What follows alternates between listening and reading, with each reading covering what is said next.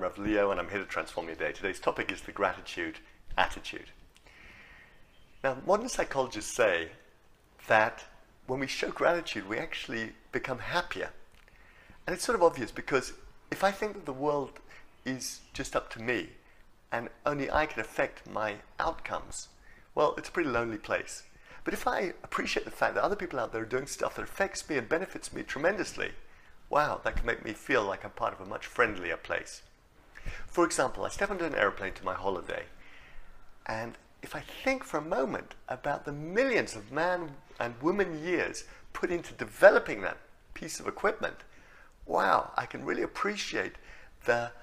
effort and the cost of billions of dollars that people put in so I could get to my holiday uh, within a few hours instead of a few weeks. That could make me really much more cheerful about spending my $250 on the ticket.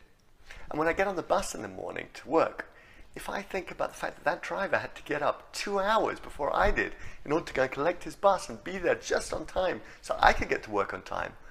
wow, that could really make me feel grateful and thankful to him and a little bit happier about having to get up at the time that I do. And equally, when I eat a slice of bread, if I think about the effort that went in to plant the seeds, to harvest the wheat, to mill it, to knead it, to bake it, to cut it, and to deliver it to my local shop while it still might even be warm,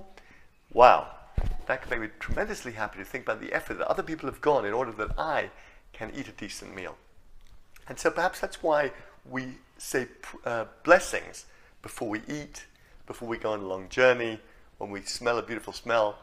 because it just takes a moment to appreciate the effort that went into creating that food, to making that journey happen, to making that smell, whether it was human, whether it was divine. And that can really cheer us up on our day ahead.